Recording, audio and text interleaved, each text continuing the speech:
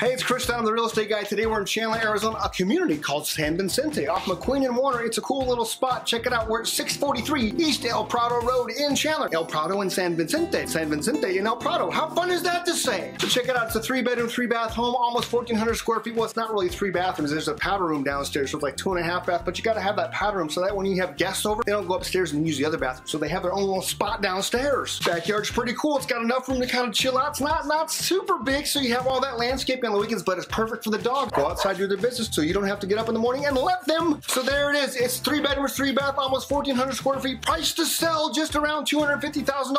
What? That's right. Great for first-time home buyers and veterans. We love the vets, man. Thank you so much for your service. So come along, make a comment below. Let's get you dialed in into this house today. Remember, when you're ready to sell or buy, call the real estate guy. Until next time, see ya.